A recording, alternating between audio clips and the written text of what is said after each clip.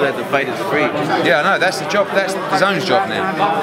So we need to make sure that Canelo and Golden Boy and DAZN make the fans aware that the fight is free. Everybody's like, oh, I don't want, like, they don't want to pay for it, like, but then they. Well, you know, at the end of the day, you were going to have to pay eighty dollars for that fight.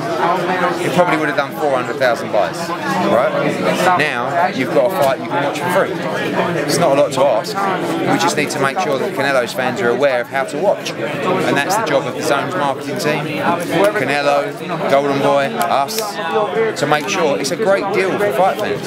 Are there any other big promotion teams that you're looking to bring to DAZN? Not really. I mean, we have no problem working with other promoters, as we've done with so many fighters already. And if we bring Gennady Golovkin to DAZN, his promotional company will be involved as well, because just like Canelo, they're not just going to give you the, the, the asset without something, you know, like a. So if you get Triple G, will we see another a third Canelo? I believe so. No, I think everybody wants that third fight. I think Canelo wants it. I think Triple G wants it. DAZN certainly want it, and that's definitely a plan for 2019. Okay. Do you think that?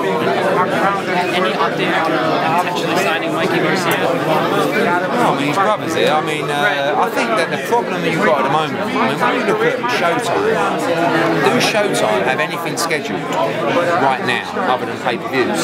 You know, the answer is no. They're talking about Fury Wilder, then they're talking about Broner Garcia, uh, sorry, Broner uh, Pat Charlo, and then they're talking about, oh, that's on Fox, Charlo's on Fox. Okay, So they have three planned pay-per-views with no free boxing. So if you're subscribing to Showtime, what you've got to do, you've got to pay £80 a month to watch three fights. And pay-per-view. Yeah. So, you know, I think what people are being told right now who are interested in coming to DAZN is, don't worry, you can box on pay-per-view on Showtime. And over time, they'll realise that's not going to happen. And if it does, the numbers are going to flatline and bottom out. So do you think uh, pay-per-view is dead?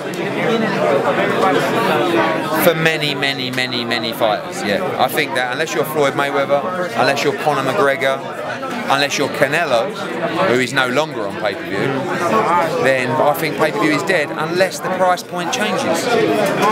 Eighty-four ninety-nine. I mean, our, our pay-per-views are twenty-five dollars with Joshua. Eighty-five dollars, eh?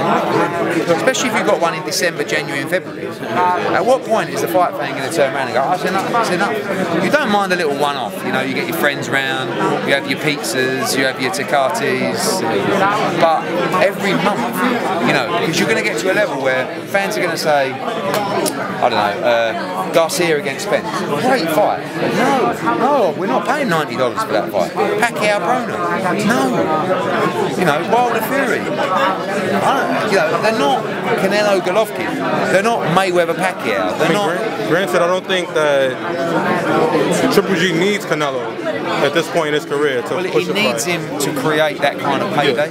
Like the only fight where Triple G can earn tens of millions is against Canelo, right? He's got enough money, so he don't. Need, you're right, he don't need him, mm. but he wants to be in the biggest fights, and I'm sure he'd love to try and get what, what is on paper revenge. If Danny Jacobs wins tonight, how close is the Canelo fight to happening? I I think that's the Fielding. fight. I think that's the if, if Canelo beats Fielding, I think that's the favourite fight for me. Jacobs Canelo. I think it's a brilliant fight, but he's got to win tonight. It's going to be very tough. Well, Mr. Hearn, so before Canelo Triple G2 was announced, there were rumors that Jacobs and Yes. Canelo was going to happen. Yeah, it's very close. Can you elaborate on the It's very close. there? I mean, you know, obviously there was a lot of beef between Triple G and uh, Canelo, it didn't look like that fight was going to happen. Eric Gomez come on and said, you know, we talked numbers, you know, we had counter offers, another counter offers. We were close, but then unfortunately he phoned me up and said, we've, we've reached a deal. I was like, okay.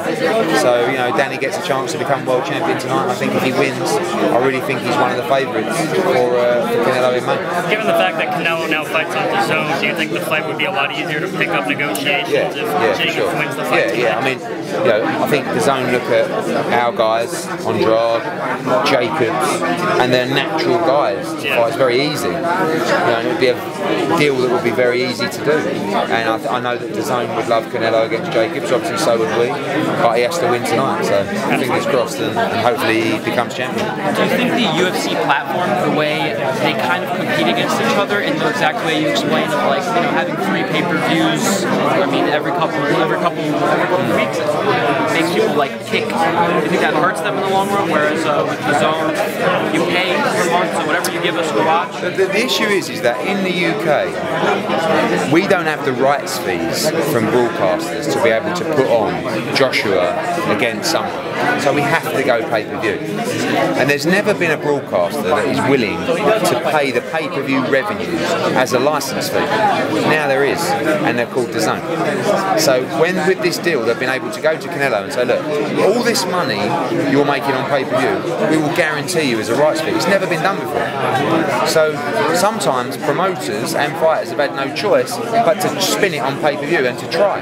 But the problem is, what happens when you're supposed to do a pay per view? Fury Joshua, uh, Fury Wilder, for example. How many pay per views? I don't know. Could be as little as 200. Could be 400. I, I don't know. But if you're spun a line, it's going to do a million buys, and they haven't even sold 10,000 tickets yet in apparently the biggest fight of the year. What happens if it does 200,000? And you've been told it's going to do a million, and you're on the upside of the pay per view, and you're supposed to make 15 million, and you can walk away with four. You're in the red. Exactly. so that's the worry. So I think people like Canelo and Golden Boy are smart in the sense that they've looked at this guarantee and said, do you know what? Like, let's take it because we don't know what's going to happen to pay per view. Like at the moment, Canelo Golovkin's doing 1.2. What happens if in a year's time it does 800,000? You they've covered themselves. They've got guaranteed money, and that goes a long way. Surprised that Canelo Triple G2 did 1.2 million. I think exceeding the numbers from the first fight. I thought we were doing more. Really? And I thought if they would have got each other in front, I mean, how can you do a fight with that much animosity and that much controversy and not get them together? The first thing you do is get them around a table talking about the drugs, talking about the draw, talking about. I mean, that's going to sell because we've never seen that from Gennady before, but we know it's there in this instance. In terms of rematches being bigger than the first fight, I, I can't recall one since Tyson Holyfield 2. Rematch was a bigger event than the first one. Yeah, well, I think that um, it, it wasn't it wasn't much bigger, but it should have been much much bigger. And the third fight will be bigger than the second fight because it was a brilliant fight and it was a close fight. And there's, there's still controversy, but you've got to bring them together. Do you, do you think the second fight should have been a draw? Uh, do you know what? Like shockingly, I haven't watched it in its entirety. Okay. So, uh, but I've, I've sort of gathered everybody's feedback, and there's a lot of swayed opinions. Like there's a lot of people in boxing that feel like Canelo won the fight. Yeah. But it seems like en masse people felt Golovkin won the fight. I, I think Canelo really won because he did what the, the media wanted him to do. Cane- Um, Triple G's supposed to have knockout power. Yeah, well, he And you backed know- him up, Yeah. and you know, you saw his face after the fight. Yeah. Golovkin, he'd been in a war, you know. What did you think about uh, Leonard Ellerbe's rebuttal about the whole Gervonta Davis thing? It's disappointing because when you've got a kid out there on social media moaning and saying I can't get fights, a talent like Gervonta Davis should be boxing four times a year. Right, so he's boxed once a year and I made him an offer for I don't know, two or three times as much money as he's making and keep him active. But it probably doesn't suit it suits Gervonta, it probably doesn't suit Mayweather Promotions. So it's disappointing, but you know, it is what it is. I'm not going to approach Gervonta Davis. I approach Mayweather to work together on Gervonta Davis. And like the Charlo brothers, uh, they Well, said send another offer. Something I mean, I just video. made them an offer which is three times what they're making at the moment. And I I just think that they're so easily How do, you, talked. how do you know when you're overpaying a fighter? we're already overpaying. They're overpaid on their current purse, let alone my offer. So, but they like. There's some very good people on that side who convince people of doing certain things that actually makes no sense at all. So Charlo's like, yeah, send me a real offer. It's like, well, hang on a minute. You've just got an offer, probably, definitely two times, maybe three times what you're making and you're saying it's a poor offer, yet you're boxing for half at the moment against Willie Monroe. And actually, what you're going to find at the moment is there's no fights for him in the middleweight division because all the champions are going to be under zone. So that's why, no disrespect to Willie Monroe, but he fought Billy Joe Saunders, Billy like, hardly won a round. That's a poor fight. And and where is the middleweight opposition to fight Charlo? How can he win a belt unless he's over here? So we're offering him two or three times as much money as on. Plus all the champions are on DAZN. What are you waiting for other than people feeding you with stuff that makes you think differently? So basically, you're saying that they have to beat a star to be a star, and the stars are at DAZN, so they can't really I just think that if you want to be a champion, you want to fight the champions you're on DAZN. So, I don't mean to be arrogant and say, you've got to join with DAZN, otherwise you're going to be frozen out. But obviously, if you're not with this, it's only the same. It's like if, if I've got a welterweight at the moment, it's going to be very hard for me to give them a shot at the world title because the welterweights are on Showtime. That's, and the same with us with the middleweights. That's kind of what's happening with Crawford Yeah, versus same. Spence. Everyone That'll talks about it, but it's not unless, happen. unless that fight is a pay per view that does over a million buys, which at the moment is miles away from that, it will never happen. What would your prediction be for that number wise? Spence against Crawford. On pay per view, 300,000. 300,000. You think they're not marketable enough? Huh? They're not enough. I, They're not don't, I marketable. just don't. I, I mean, I can't believe the lack of awareness of fighters like that in America, hmm. like from the general public. The only way you create big pay-per-views is to capture the casual fan. That's why Mayweather and McGregor they do massive numbers because the man down the street knows who both of them are. You walk out the street in New York and ask people who Errol's fighting. I joke about it with Deontay Wilder, but- and it's not a criticism. They are brilliant, brilliant fighters. But it's just not the mass awareness of these athletes to create seven-digit pay-per-view numbers. So when you decide how much to, you know, buy a pay a fighter, does it go more by skill or by popularity?